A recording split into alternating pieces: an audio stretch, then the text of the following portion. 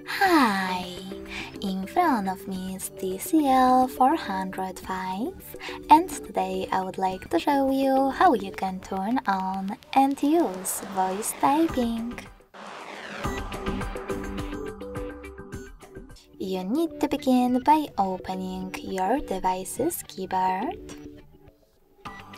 and tapping on microphone icon at the top right corner of it.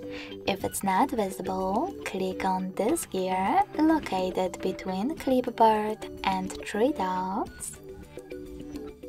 Tap on voice typing in keyboard settings and click on gray switcher next to use voice typing to activate it. Then go back to your keyboard.